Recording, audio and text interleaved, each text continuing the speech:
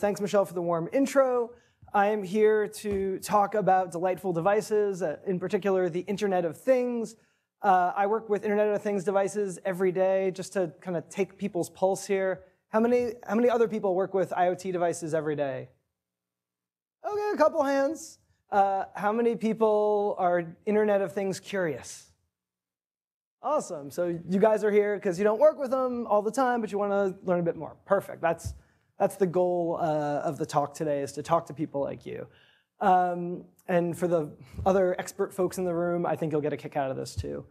Uh, the, the reason I put this talk together is I've seen way too many headlines like this, the Internet of Things you don't really need. Uh, I feel like I go to meetups and conferences and I read articles, and there's a lot of people that feel disappointed with the Internet of Things. And I would say, you know what? In many cases, they're right. IoT can be disappointing. But what really excites me is when I look at IoT devices, I feel like the, they're disappointing in consistent, repeatable ways. And so the way I want to present this talk is focusing on what are those consistent, repeatable ways that devices can be disappointing so we can avoid them and focus on how to make really delightful devices, really delightful IoT devices. Um, since a lot of you guys uh, are not IoT makers, the, the, everything in this talk is uh, focused on IoT devices for consumers. Everyone here is a consumer, so you should be able to relate to what I'm talking about. We're not doing industrial IoT or anything really esoteric. Um, and more importantly, everyone in this room is here because you're either a designer or a geek, maybe you're a business person or an engineer. you are even if you're not on a team that's building an IoT device directly, you're probably going to be affected at some point by IoT. And I want to try to give you a framework for how to think about it. That, that's my goal. So I've framed the talk in four questions. Uh, what is IoT? What is not IoT? Why does IoT disappoint or delight? So let's jump in. First and foremost, what is the Internet of Things? It's really hard, I've found, to get a concise, clear, easy definition. Uh, so my first pass at that is IoT is a solution to a user's problem. If a user is trying to get through a door, IoT is like that key that unlocks the door to, to, uh, as a tool to let that user accomplish their goal, uh, to end the pain. And uh, it might sound obvious, but more valuable problems have more valuable solutions. So coming back to that first slide where IoT can be disappointing, one of those consistent, repeatable ways that I've seen IoT be pretty disappointing is that it's an IoT solution for a problem that's not really compelling. It's not a really valuable problem. And I can tell you, if you're working on a problem that's not high value, there's no way your solution is going to be high value. Another thing to think about uh, when someone's pitching you about an IoT device is IoT devices don't live in a bubble. It's not a matter of how great this IoT device is, how whiz bang it is. Uh, it's how does the IoT solution compare to the existing solution? Because almost always there's a status quo. And so hopefully our IoT key in this metaphor is really, really good compared to a really poor status quo you know, conventional device. Another thing to keep in mind for the big picture is as much as we're talking about devices and everyone knows the device because we hold it in our hands, there's a lot below the surface with IoT that's not often there with other devices. So you need to keep in mind that there's aspects of designing the cloud and the service, and there's a lot more than just the physical device itself. So I like to think of IoT as a natural evolution of the internet, and I think it, it kind of can help to frame things this way. So what does that mean? Well, in the 1990s, the internet happened, and we all, what that meant was all, people had access to all the data in the world in the internet. It was great. But we didn't have it in all locations. We only had it in select locations, wherever our desktop computer happened to be residing, in our office, in our home, at school, in the library. And then in the 2000s, with smartphones, now we have the internet in our pocket. So we have all the data in the world. We can take it with us everywhere we go. And the two main use cases for that that I saw, I've seen are dealing, interacting with other people, like reading a news article or writing a Facebook post or sending a message, or dealing with devices, like looking up a recipe to figure out what's the right temperature to set the stove. And that second class, that dealing with information on the internet and how do you communicate, how do you get the information on the internet between the internet and the devices, that's what IoT is all about. IoT is about removing that human intermediary. You no longer need the person to to transfer the data, and, and the, there's no more barriers between the devices and the internet. So I'm going to have lots of examples to, to really give you something to anchor down to. Uh, this is a Ring video doorbell. Uh, it's really simple, it works great. Uh, captures a short video of whoever's at the front door, sends it to your app so you can see who's at the door. Uh, we use this in our office because sometimes our admin's not at the front desk. Um, maybe they're like taking care of a task, and this way everyone else can help cover uh, without, uh, if no one else is at the front desk, we use this to, to solve that problem. So uh, I, am also going to give lots of end-to-end -end examples to really make this clear. So before the 1990s, if you wanted to deal with navigation, you had to solve the problem yourself. Uh, with MapQuest, uh, the internet was able to tell you how to get where you wanted to go, but you couldn't take the information with you. You still had to print out that piece of paper with the instructions. And then uh, in the 2000s, we have smartphones, Waze, Google Maps. Uh, we could take the information with us, but we were still the intermediary. The humans still had to interact with, had to take the information from the internet and transfer it to control that device, that car. And so that's what self-driving cars in many ways are all about. It's cutting out the human intermediary. The car can communicate directly with the internet. Uh, I want to really give a, a, stronger definition than just IoT is a solution to a user's problem. I, I, argue that IoT has four key characteristics. If you don't have these four key characteristics, you don't have IoT. Sensors, connectivity, computation, and user interface. So sensors, that means we're gathering lots of data about the world around us. Connectivity, we're going to send it to the internet. Computation, now that we have this really big data set up in the cloud, uh, we can extract some meaning from it, extract some insights. And then we expose that uh, to our consumer through the user interface. Uh, data. Two optional components that I want to highlight because they're really common in IoT devices are one is batteries. Batteries are great. It means we could take our IoT devices wherever we want to go. It doesn't have to be tethered to the wall. Uh, and actuators. Uh, if you guys don't know what an actuator is, don't worry, you use them all the time. An actuator is kind of like the opposite of a sensor. So sensors take what's happening in the real world and they turn it into digital data. So cameras and microphones take sound and light and they convert it into digital data. Uh, actuators just do the opposite. They take that digital data and they convert it into uh, something in the real world. So the display and the speakers on our phones convert light and sounds you know, into something in the real world, data into action. So that's, uh, in brief, what I would say IoT is. But you might say, hey, I've seen all that stuff before. What's new? Why, why is that different from anything else I've ever seen? Well, IoT is different from conventional devices, and IoT is different uh, from smartphones. And let's examine why. In, if I had to boil down IoT versus conventional devices, I would say we're looking at the difference between one and many. I'll give some examples. So connectivity. I grew up in New Jersey. We had, my parents had a garage look just like this with a remote control that looked just like that. And the thing about that uh, remote control car, yeah, it had connectivity, but it was really limited. There was only one remote control that could control that garage. By contrast, with the Internet of Things, now any phone can get an app and control a door lock. This example here is with the August smart door lock. Uh, so we're, shifting from just one to many. Uh, another example are updates. So when you buy a conventional device, uh, whatever you get on day one, your device is going to always be that way. It's not going to change with time. It's not going to improve over time. By contrast, with IoT devices, you can start to expect improvements. So Tesla, for instance, uh, regularly updates their autopilot feature. And probably the most important difference between conventional devices and IoT devices is the way that we deal with data. So historically, whenever we needed to gather data, it was sporadic and manual. A person had to do it. Uh, it was tedious. It's expensive. And we didn't really capture lots of data. But with the Internet of Things, now all of a sudden we're capturing huge amounts of data. We can do it continuously and automatically. Uh, Ada is a really exciting device. I'm going to I'm going to do a little bit deep dive on this product. Uh, so Ada makes a wearable thermometer, uh, and that, that can measure core body temperature. And you guys all look healthy. But for people that are not, uh, it solves a really important problem. So if someone uh, is going through chemotherapy, or if we're talking about a premature baby in the neonatal intensive care unit, these are people where they have compromised immune systems. Their lives are really at risk uh, of getting sick. And one of the first signs that they're sick is their core body temperature shoots up. They get a fever. And so today, or up until today, uh, the way that this is dealt with is a nurse like this woman here will go around the neonatal intensive care unit and measure the baby's temperatures every 15 minutes. It's tedious for the nurse, it's not comfortable for the babies, and she's not getting a lot of good data. By contrast, now that same baby could wear an ADA patch with uh, this wearable thermometer on it.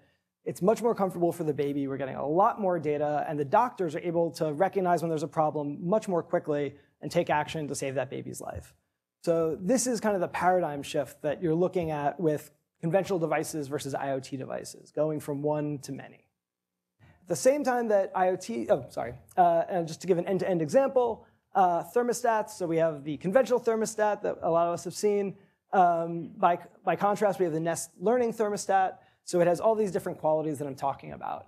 Uh, connectivity, it connects to lots of different phones, uh, many gathering many, many data points, and updates. So Nest, for instance, added a family feature. So uh, as we're thinking about this, everything I've said so far is one IoT device versus one conventional device. Where I think IoT gets really exciting is when the whole is greater than the sum of the parts. That happens for IoT, but it doesn't happen for conventional devices. So one, uh, one example is Kinsa. Kinsa makes this really cool smart uh, thermometer. And yeah, it's nice that you can now measure your temperature and track your health with your phone. But where Kinsa gets really exciting is when they take that huge data set that they have and they're able to understand public health at a scale that we've never seen before. And that's going to make all of us healthier. Another way to think about these network effects are network effects between different types of devices. So uh, again, if you, you haven't heard of APIs, you use them all the time. API stands for Application Program Interface. It's the way software communicates. So if uh, you've ever logged in with, with Facebook to an app, uh, you're using the, the Facebook API, for instance. So uh, what this means is it's really easy, because of all this internet connectivity out there, to share data, to pass information around. So you can easily envision how we could take this Ring uh, smart doorbell, take an image of who's at the front door, send that image to some facial recognition software in the cloud, uh, recognize, yep, it is the homeowner, and then tell the August smart door lock it's time to unlock. And you could also see how now the August and the Ring, they work together in this you know, synergistic way, so they enhance each, each product. That the whole is more than the sum of the, the parts. That doesn't happen with a conventional doorbell and door lock. As much as conventional devices are not the same as IoT devices, uh, all, smartphones are also really different from IoT. And the key difference, I would say, between smartphones and IoT is one word, love we love our smartphones. And that makes a lot of sense because we really, really like our apps, and smartphones are packed with apps. And what I think is kind of interesting is you can actually measure how much we love our smartphones. We spend a lot of cash and a lot of effort on our phones. But what that means is we pay for an expensive monthly data plan. We have this social convention that when you walk into a new place, the first thing you say is, hey, can I get your Wi-Fi password? And of course, we're constantly charging our phones all of that effort makes tons of sense for smartphones, but it breaks for IoT. We only like our IoT devices, we don't love them the same way. So IoT can't require an expensive monthly data plan. Consumers who buy IoT products, you know, they're gonna get that, they might be willing to get it on Wi-Fi once, maybe twice, but after that, they're, they're just gonna get bored with it. They're not gonna invest all that effort. And of course, they don't wanna have to charge it all the time again, I, I really want to hit this point because when you think of uh, disappointing IoT devices, again, what I've often seen happen is that the device is designed with the expectation that the user will treat it like a second smartphone. And they might do that for a day, maybe two, and then all of a sudden it winds up in the drawer and it's another disappointing device. So uh, keep this in mind as we think about uh, how to really delight consumers. So we're going to talk about disappointment and delight. So there today, I, feel like, especially in the Bay, even though there's not a ton of IoT folks here, there's this herd mentality to IoTify everything. It's this buzzword. And I would argue that it's, there's some trends that are driving this, and they cause uh, these specific failures that I want to focus on. So one of the key trends is that sensors and actuators are now small and digital. So up until recently, uh, if you wanted to measure stuff, uh, you know, like a thermometer, it's this big, bulky device. You have to actually have a human being go and read what the temperature is. It's really not convenient for shrinking it in and putting it inside a device and or getting that data out in any conven con, uh, convenient way. Um, and so this paradigm shift to having you know, small microchips that have these sensors in them, uh, that, that's reduced these physical constraints that, um, that were keeping, keeping us from creating IoT devices until now. Another uh, constraint, you might say, great, so I can pack my devices physically full of, of sensors, but how much does it cost? Is it affordable? Well, many IoT components are now cheap commodities. Uh, we've seen prices drop 10x in 10 years. And this is all because of the economies of scale created by smartphones. So smart, a lot of these components between IoT and smartphones, they're the same types of components. And so the price reduction, it means that it's now really economical to uh, IoTify devices. So what does this look like? What, what is the, how has the market changed over time? So, oh, sorry, before I get to that, uh, I just want to mention, personally, this has uh, affected me in a really fun way. Uh, when I started my career, uh, I, my first thing I worked on were microsensors. Uh, I, you know, little computer chips like that with uh, motion sensors inside, accelerometers. And at the time, uh, the only types of devices where it made economical sense to use a chip like that was a million dollar missile. And today, that exact same technology is in dog collars. So we've had this huge shift of economics from you know, IoT devices that, that needed, where the sensors only made sense if it was a missile, and we've now shifted to dog collars. So it used to be that there was a really small universe of what was technically possible to IoTify. But like I said, the lowered physical constraints have made that universe start to grow really fast. And now those lowered economic constraints have also really started to expand the universe. And the problem, in essence, has shifted. It's now really easy to IoTify devices, but it's really hard to find high value problems that it's worth IoTifying. And so again, when you say like, why are there these disappointing IoT devices in the market? I'm going to argue that they're not in that circle of value, that they're somewhere else there, that people are building them just because they can, not because it's actually a useful, valuable device to have. So I'm going to now kind of quickly go through this basic recipe I've been talking about and then talk about where it breaks and causes uh, disappointment. So like I said, everything starts with users and a problem. Hopefully they have a mediocre status quo solution. Uh, we're going to solve it with an IoT device. That means we're going to put some sensors and connectivity in our device and send lots of data to the cloud. Uh, we're going to use computation user interface uh, to extract some meaning out of that data and expose it to the user. And hopefully we'll benefit from network effects also. So when we have these disappointing devices, it's often because they're breaking at least one part of this recipe. So what does that mean? That means uh, users might have a problem, but it's not really a $100 problem. Uh, why $100? Because first, that's like the minimum price point that I generally see in the market for IoT devices. It's rare that it's uh, much cheaper than that. Often it's much more expensive. Uh, the other thing to remember is IoT devices are inherently complicated. So if that means that the users are going to have a learning curve.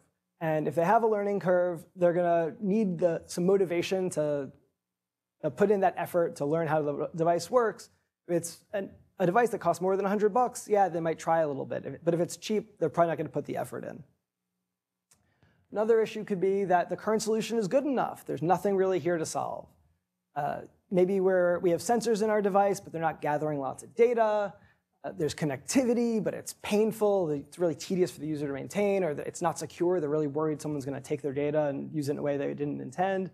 Uh, maybe there's computation, but it's not really extracting insights. The UI doesn't really facilitate action or control. Uh, and there's no useful network effects. And I really want to hit this word useful, because this is another kind of problem that I've seen. Yes, today we've hit the point where you could probably connect your toaster oven to your television set but that doesn't mean it's a useful thing to do. That adds complexity, and often it makes it worse for the consumer, not better. Just because we can do it doesn't mean we should do it. Uh, so with all this in mind, uh, my colleague Ludo and I, Ludo, come quick say uh, uh hello. Uh, hello. Um, we wanted to use, create an IoT device to solve this problem. How much does my piggy bank weigh? Uh, so we created the Jamboni. Uh, like Michelle said, uh, Orange is a French company, and jambon means ham in French. Uh, so the Jamboni, it's a pig on a scale with an IoT with a cloud connection and an app. This is an awful product. Everything about this stinks. Uh, the, it's a piggy bank. There's no way you have $100 worth of change in there. No one's going to pay 100 bucks for this thing. There's a sensor that weighs the piggy bank, but it only measures the weight monthly. It's never measuring data. There's a Bluetooth connection. Bluetooth can be great, but you, in this case, it's, it's a really bad connectivity solution. This means that the user has to walk over to the pig, get the data out of the pig and into the internet, into the cloud. It stinks. Not, we're capturing the data in the cloud, but we're not doing anything with it. It's, the UI just exposes it straight back to the user. And yeah, there's an API integration with Nest. So now I can send my pig data to Nest, but it doesn't enhance Nest. That makes no sense. Um, there's lots of devices that will enhance your nest, it, but not this pig. So if anyone tries to sell you a Jamboni, run away screaming. Uh, so of course, i like that you guys are getting the joke. You're laughing. This is not what we do. Uh, what does the Orange IoT Studio really do? We focus on connectivity solutions for the Internet of Things. Um, one thing that you guys will be hopefully benefiting from in the years to come are IoT connectivity solutions that are much, much easier to use than Wi-Fi or Bluetooth. Um, and one of them that we've chosen to focus on is called LoRa. It's a long-range, low-cost, low-power, low-data rate solution. If you're curious about it, or if you want to even try it out, come talk to me or Ludo. We're happy to tell you all about it. Um, so now that we've gotten through disappointment, and I promise you the Jamboni is the bottom of the disappointment barrel, uh, how do we get to delight? And that, that's what we came here to talk about, delightful delight devices. So I'm, I'm into IoT, so I bet I'm definitely into measuring everything. Uh, so it's not enough for me to say the IoT solution has to be an improvement over the status quo. It needs to be a 10x improvement. Uh, I took this uh, from Phil Boyer from Crosslink Capital. I like that he says it's either got to be 10x cheaper, 10x better, or ideally both. Um, so let's really quantify the improvement if we can. So I'm going to kind of go through this recipe and highlight when, when things work, what does it look like? Uh, so we start again with users with a problem. It's a high value, $100 or more problem. Uh, we're going to pack our device with sensors and gather lots of data. We talked about how Ada is gathering lots of uh, temperature data. We're going to have connectivity that just works, that's really, really easy for the user. Uh, this is a really cool company called Omada Health. Uh, they make a comprehensive solution for people with prediabetes to, keep, to prevent them from becoming diabetic. It's a high val- it's a really big problem, costs a bunch of money, it's, no one wants to get diabetes. Um, and the problem that these people have is they can't change their habits. And Omada has a solution to do that. But one of the key things for Omada is they need to get uh, the weight of the people in, that are participating in their program. They need to know if they're losing weight, because if you can lose weight, you can lower your risk of getting diabetes. And they have a, a scale, it looks just like that, they have the scale that um, it, it's IoTified and they use a cell connection, like a SIM card. And there's a lot of other IoT scales in the market. Some use Bluetooth, some use Wi-Fi. I've tested a bunch of them out myself. And I can tell you, I'm an expert in this thing, and it's really hard to maintain. It often falls off the network, or it unpairs, or something goes wrong. And Omada recognized that if they gave that scale to their uh, participants, it, it wasn't going to work. They weren't going to get the data that they need. They weren't going to be able to solve this really important problem around prediabetes. So their solution, you take it out of the box, you turn it on, and it just works. The same way that you know when we turn on our cell phone, it just works. Now, my point is not that cell connectivity is the end-all, be-all. Um, I think there are, like I said, there's more solutions coming down the pipeline, but the key thing is connectivity needs to be super simple, it needs to just work, and users need to not have to worry about it. Moving on to insights. Uh, this is another company I'm a big fan of. When you want to talk about insights, you can talk about Bloom Life. Bloom Life makes a wearable patch for pregnant women, uh, and it answers this really, really important question for them. Either no, don't worry, uh, you're just having an upset stomach, or yes, you are about to give birth, get to the hospital right now. Uh, and it, for user interface and uh, network effects, I wanted to talk about the Amazon Echo and Alexa, because I think it, it really highlights uh, both these ideas. So first, user interface, everything I've showed you up till now has been an app. Uh, the point of the Amazon Echo and the Alexa, since uh, I gather there's not a ton of IoT people here, if you haven't used it or seen one of these, um, it, you just talk to it. You just say, you know, Alexa, play John Mayer, and she starts playing John Mayer. It's really nice. Um, so it's a voice UI. So the thing that I really like about it is it's a new, when we think about user interface, just think more than an app. I know our, everyone's instinct is, I gotta make an app. Uh, but it could be a bot, like, or you know, in Messenger or in Slack. It could be uh, an Alexa skill, which is the equivalent of an app but voice. Uh, there's lots of different types of UIs, and it all comes back down to the consumer that we're trying uh, to solve their problem. And then the other thing I want to highlight here is useful network effects. And this is something I think that uh, Alexa is getting right. For those of you guys who don't intimately follow the IoT market, a few years ago, everyone was talking about Nest, Nest, Nest. Um, and then there's always, every year, there's almost a new uh, phenomenon. But Alexa has definitely been the talk of uh, the Consumer Electronics Show this year and in a lot of places. And I actually think it's really well deserved. And the reason is because every device that integrates with Nest has this beneficial, synergistic, useful network effect. Uh, because Alexa offers a second user interface. People don't always want to have to get out their phone to interact with their IoT devices. So, for instance, in my home, I have lights, I have um, a heater that's connected, uh, internet connected. Sometimes I want to use my phone because I want to, you know, be quiet. I don't want to shout. Other times I don't have my phone on me and I'll just shout across the room, you know, Alexa, turn on the heater, and it just goes on. And so that, that synergistic uh, benefit where the Alexa makes the heater better, that's what IoT looks like when it's done right. So again, end-to-end -end example, I wanna make sure you guys can uh, know exactly what we're talking about. You're looking over here at very, very old technology. This is like decades old ways of monitoring pool water quality. Um, it's a very expensive and very painful thing. And the picture on, uh, on the other side of the screen, uh, if you don't remember from last summer, is the Rio Olympics. That's a, one of those green pools that the swimmers were really not pleased with. The reason I'm showing that is to make the point that even the professionals have trouble keeping their pools clean. So you can imagine how hard it is for just a residential consumer. So all of this is now solved through the miracle of the Internet of Things uh, with this device called the Sutro. Uh, it gets all the, these parts of the recipe right. So it has sensors. It's measuring the pool temp, the water temperature, and the pH and the chlorine. Uh, it takes that data and it sends it to the cloud where it extracts an insight. It tells the user what they really care about.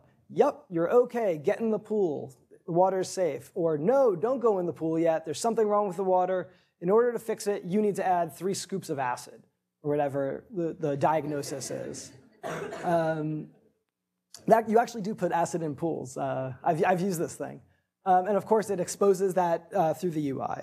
Uh, Sutro also benefits from those uh, network effects I've been talking about. Uh, so for those of you guys who remember Flint, Michigan, um, they had a lot of problems with water. And so as Sutro begins to really deploy uh, in force, and they're monitoring lots of pools across a geographic area, they're going to be able to start to detect anomalies where, um, because we drink the same water that we put in our pools, if all the pools start changing in this really abnormal, strange way, they'll be able to say, no, it isn't just a couple crazy people calling into the city hall saying that something's wrong. We've detected it. We've seen this. We got to fix this problem now. Another thing that Sutro uh, gets right is integrating with other uh, companies. So Amazon Dash Replenishment Service. It's a service that Amazon lets other apps, uh, allows you to order through Amazon via other apps. So in the Sutro app, there's, they, they're, they're tracking your pool chemicals. And when you get low on chemicals, they give you the option with one click to have a refill come to your house through Amazon. Super simple, really convenient for, uh, for the user.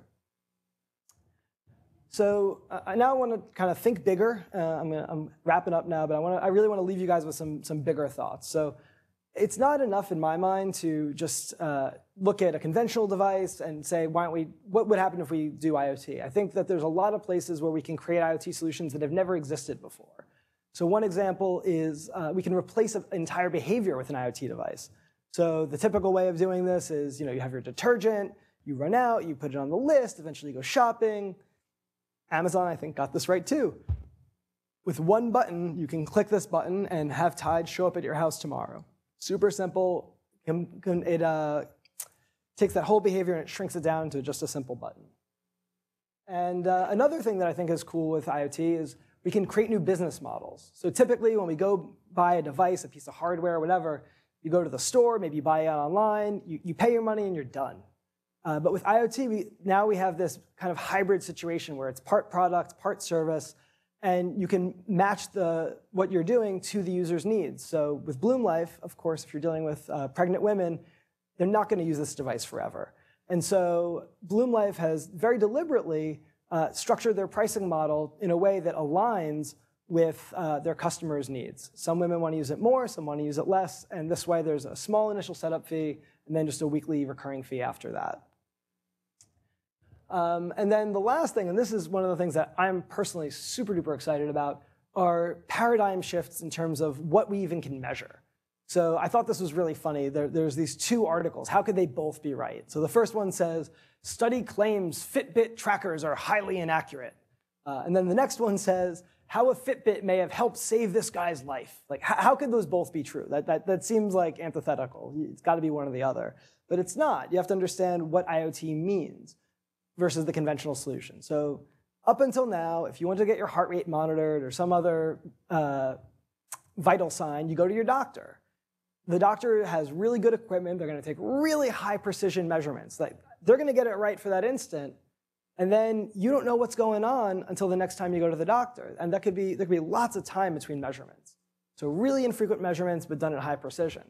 Sometimes uh, reality matches the assumption. You know, they're not too far off.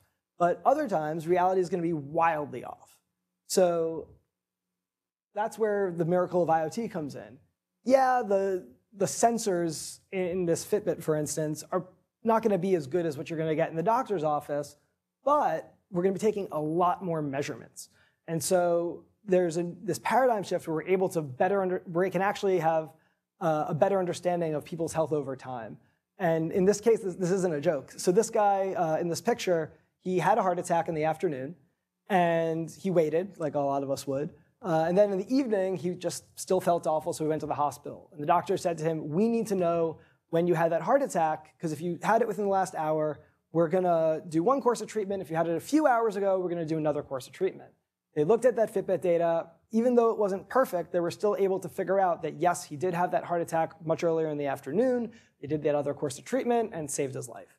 So this, I think, we're going to be seeing more and more of, uh, where we have low precision, much higher frequency measurements that allow us to understand the world around us in a completely new way. Uh, more than that, I would say you should start to expect these delightful devices to almost fade into the background.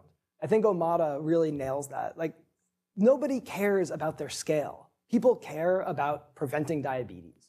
And, I and you, Omada could not provide a solution today without an IoT scale, but it's, it's only part of the background. It, it's really not the, the front and center thing, but it's a huge part of delivering the value. So uh, I just want to acknowledge I've had a bunch of good feedback uh, on this Prezo. So if anyone else has feedback, please let me know. I might even throw your name up there.